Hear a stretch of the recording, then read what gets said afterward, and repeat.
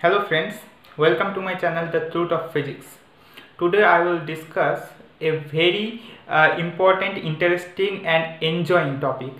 Uh, so please watch the video till the end. This will be very conceptual for you. Let's start this topic.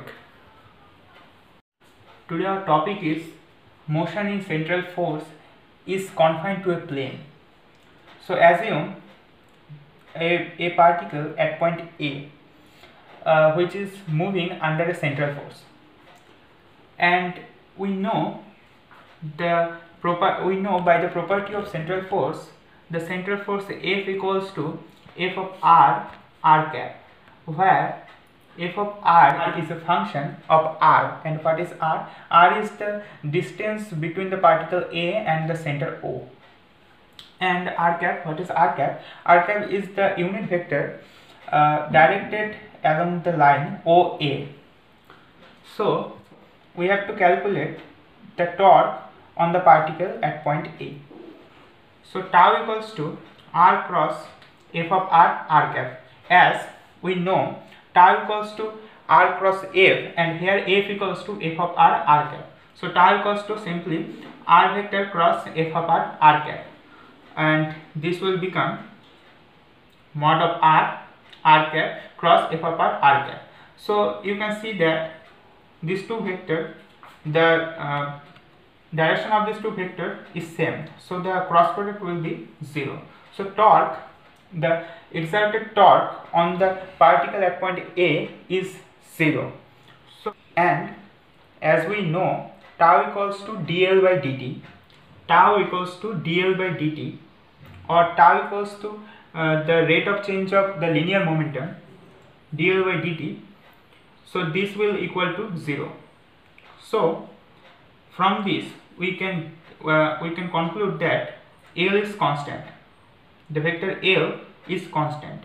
Or the linear momentum of the particle at point a is constant.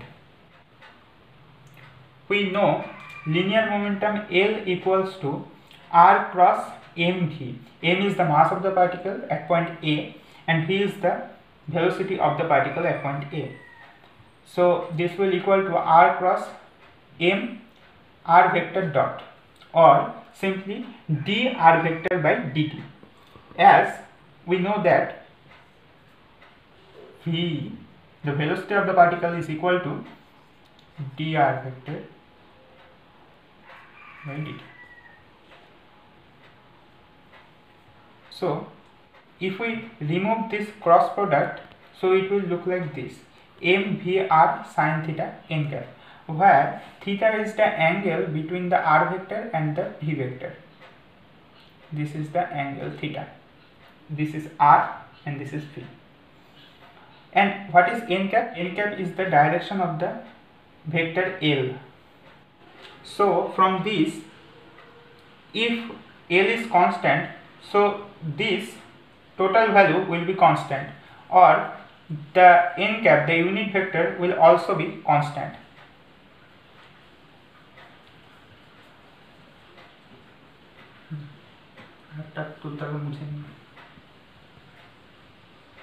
so if we look here we can understand easily that L vector is perpendicular to both R vector and V vector. So L vector is perpendicular to the plane containing R vector and V vector. Suppose this is the plane, this is the plane containing R vector and V vector.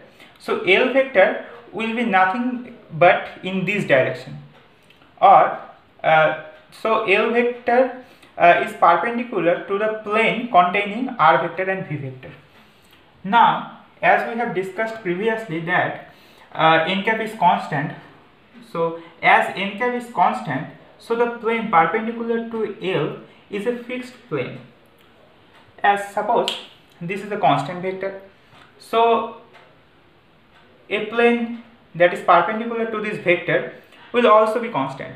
As this as the direction of this vector is constant so the plane will also be constant which is perpendicular to this vector. And we have discussed from here the perpendicular uh, plane to the vector L uh, con contains the r vector and v vector. So i have written this. And it is the plane the perpendicular plane it is the same plane which is containing the r vector and v vector. So as a consequence we can write that the plane containing r vector and v vector is fixed. So if r vector and v vector are fixed in a plane so you can easily understand that the motion of the body is confined to a plane. Now think that if v vector will not move in that plane, so what happened? Now think that imagine that uh, this is r vector and this is v vector and this is the plane containing this is the plane containing these two vectors. Now if v this is V, slightly change its direction. That is this. So what happens? So you can see from this easily that uh, the product R cross MV uh, will be different. Even if the angle is still theta, but then also uh, if we take a cross then the L vector will now be in that direction. But previously it was in this direction. And now the direction of L is in this direction. So as the direction of L is different now so uh, the L vector is not constant. Now the L vector is not constant so as a, uh, so we can conclude that if v vector fails to move in the particular plane so L will not be constant and this will violate the first equation so, uh, which I have discussed previously. Or this will violate the property of central force. Or if this happens so the force will not be central anymore the force will not be a central force anymore. So as this is a central force, so v vector, the plane containing v vector and r vector should be the same and the motion uh, of the body in central force must be confined to a plane. So thank you for watching. I think the video is very enjoying and you can you have understood everything every concept very easily. So if you really like this video so please like share and comment and subscribe my channel. Thank you for watching